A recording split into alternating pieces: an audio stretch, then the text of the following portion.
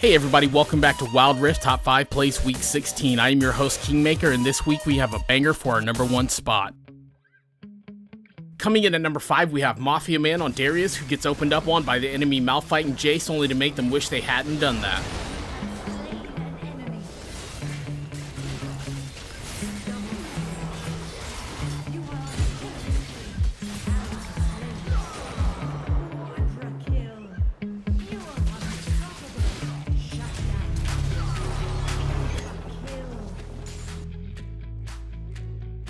Coming in in our number 4 spot is Reddit user JJ Baller who is playing Jinx. The way that they're dancing around you can tell that something is fast approaching. I bet the enemy team wish they hadn't made this play.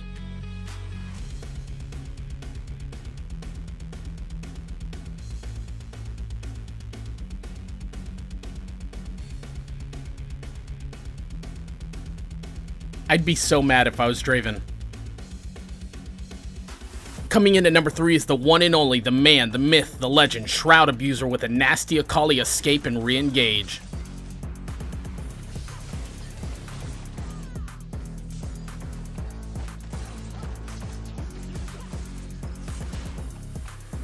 You might want to rewind and watch as they use skill 3 to escape over the wall.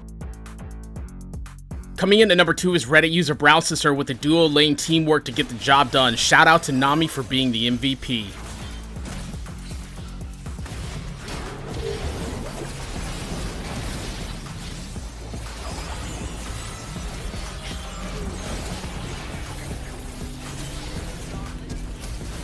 Have slain an enemy ally slain.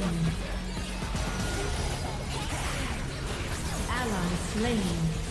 Double kill. You are on a killing spree. Triple kill.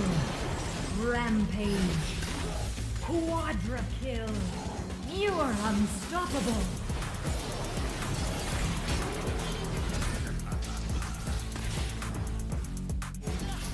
Pentakill.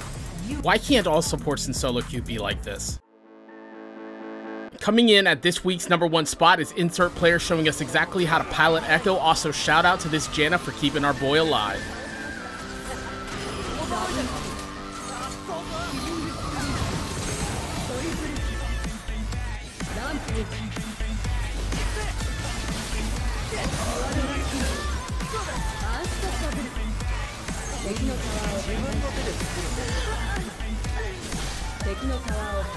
Thank you for watching this week's episode of Top 5 Plays. If you enjoyed this content, please hit the like and subscribe button.